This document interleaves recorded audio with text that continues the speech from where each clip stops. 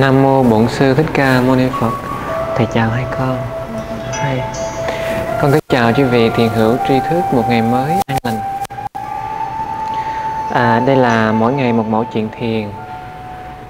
Trong chương trình sáng hôm nay là ngày 12 tháng 7 2018, con đang ở tại lầu 4 chùa Giác Ngộ 92 Nguyễn Duy Thanh, phường 3, quận 10. Con sẽ kể cho quý vị và hai con nghe một mẫu chuyện ngắn gọn, dễ thương. Nhưng bài học ứng dụng của nó cũng rất là thực tế và sẵn sàng lắng nghe nha. Ok.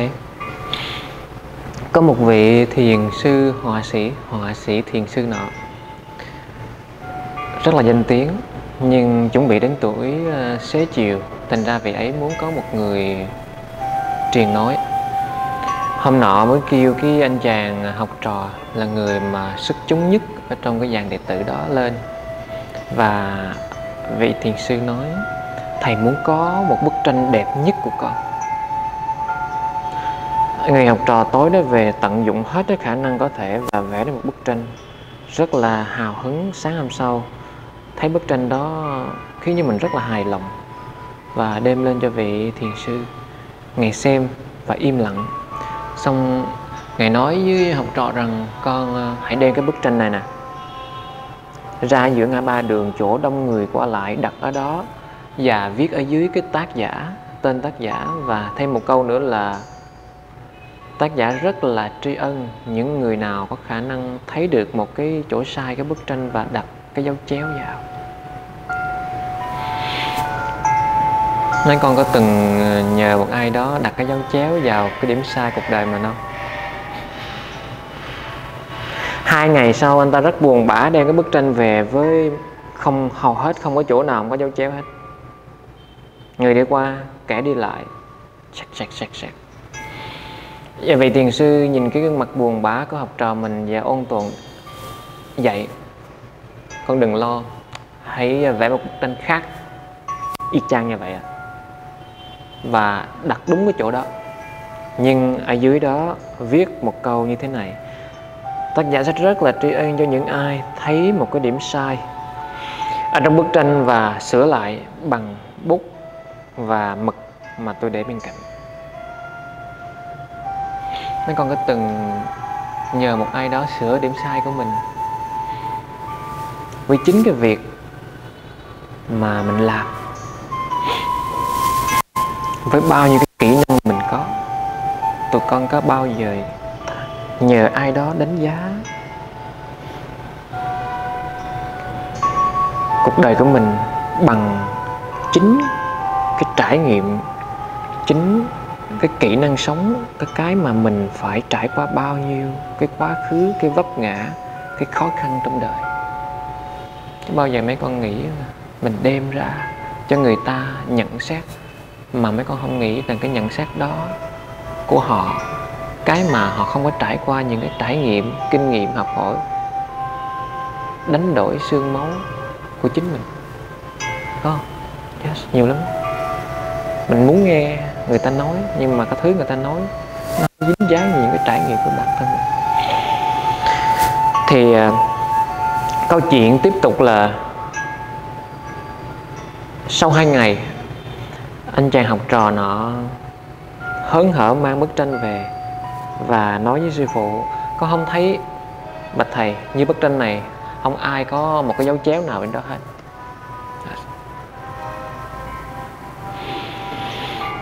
Người thầy ôn tồn đáp, con à cái sự thành công tài năng của con bằng cách sắp xếp màu mè hình ảnh ở trên cái bức tranh đó là sự thành công ở trên giấy thôi trước đó con rất là buồn và không hài lòng vì bức tranh trọn vẹn của con 30 tháng năm đó bị đánh giá bởi người ở ngoài kia cái người mà không có cái trải nghiệm vẽ như con. À, yes. con dễ bị tác động lắm. Giờ con nhớ nhé Cái sự thành công trên giấy của con Phải cần một cái sự vững vàng Trong hiểu biết và tâm thức của con về cuộc đời nữa Con mới thành công. Cả hai. Kinh nghiệm trên giấy Nó là kinh nghiệm đôi tay. Còn kinh nghiệm của cuộc đời Nó phải do cái thân của con trải nghiệm và hiểu biết. Thế thái nhân tình. Ba điều này. Thứ nhất là con thấy người qua kể lại rất dễ dàng đặt một dấu chéo lên cái bức tranh của con. Một bức tranh đẹp người ta không thấy, nhưng mà người ta sẵn sàng chéo vào cho hư bức tranh. Ta thấy một cái điểm xấu ở trong 10 cái điểm tốt. Đó là thói quen, đó là tật xấu của phần lớn loại người. Con nên biết điều đó khi sống chung với họ. Giống như đức phật cũng vậy là dễ thay thấy lỗi người. Thấy lỗi mình mới khó. Lỗi của người ta vạch tiệm như là sàn gạo trong trấu mà lỗi của mình thì lại che đậy như kẻ gian giấu bài và cái điều thứ hai, khi mà con bị, con nghe ai đó đánh giá, phán xét về mình, con nên biết những cái phán xét giống như chữ x kia đó. Họ cần một cái chữ x đó lên một người nào đó để thông qua cái dở mà họ chỉ ra cho người để họ được đúng yes. Ta muốn cao hơn, người ta phải đánh giá một cái gì đó thấp hơn ta. Dù ta chưa có kinh nghiệm gì hết trơn á, nhưng mà ít nhất á, thể hiện một cái gì đó sai sai ở bên ngoài. Thì cái gì đó đúng, cái tôi mình đúng. Yes. cho nên, cái động lực muốn mình đúng, muốn mình giỏi, nó khiến cho họ rất là hời hợt, vô trách nhiệm và thiếu lòng từ khi phán xét một cái gì đó bên ngoài sai đúng cho nên con biết những người mà đặt dấu S lên cái bức tranh mà cả con tim của con đặt vào đó là những người hầu hết không thấy được con tim của con trong bức tranh. Những người đó thấy cái sai mà không dám sửa cái sai.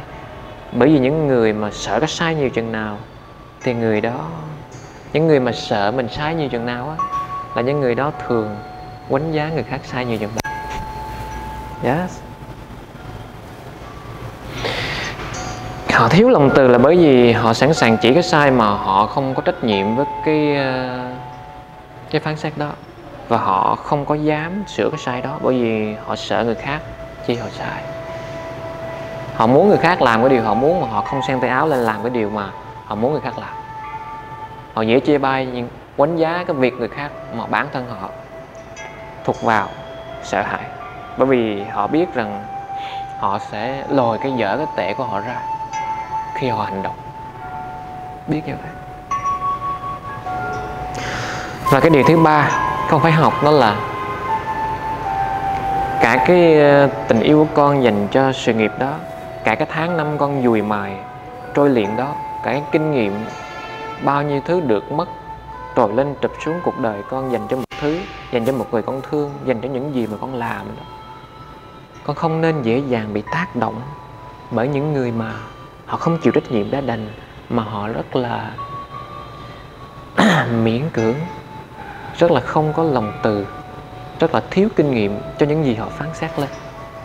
Đừng có dễ dàng bị tác động và đánh đổi bởi những thứ đánh giá bên ngoài cho những gì mà con yêu quý. Con sẽ thất vọng khi lắng nghe những cái quánh giá từ bên ngoài kia. Đó bởi vì bao giờ họ cũng quánh giá hết trơn và họ không ngừng quánh giá. Dạ. Cho nên ở đây là con hãy tự đánh giá mình. Biết mình tốt hay mình xấu, tự mình thấy. Biết mình bỏ bao nhiêu việc ác, làm được bao nhiêu việc lành, tự mình biết. Hãy làm hải đảo tự thân cho chính mình. Không lắng nghe thế gian, cái thứ mà gian chứ không có nghe. Thế gian là thế ngày và dĩ nhiên, đánh giá mình, nhưng đừng có dễ dàng đánh giá người. Giống như kinh pháp cú, Phật dạy ở trong đoạn thứ 50 Đức Thế Tôn dạy,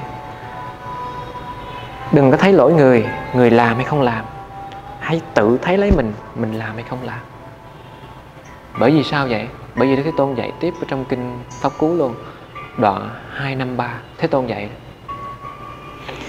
nếu mà cứ thấy lỗi người thì tâm bực bội, khó chịu mình mỗi ngày tăng lên. Nhưng chỉ cần bỏ cái việc phán xét và thấy lỗi người, cái bực bội, khó chịu của mình biến mất.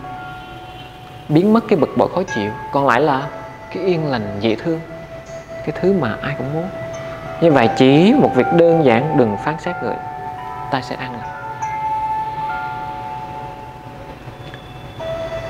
đó là ý nghĩa của mỗi chuyện mà chúng ta có thể áp dụng được rằng không quá dính mắc vào thế giới bên ngoài với những phán xét, vô trách nhiệm, thiếu kinh nghiệm. Cho những gì mà mình đã trải qua bằng xương máu và cả tình yêu thương. Đặt lên đó, đừng dễ bị lay động, đừng dễ bị đánh đổi.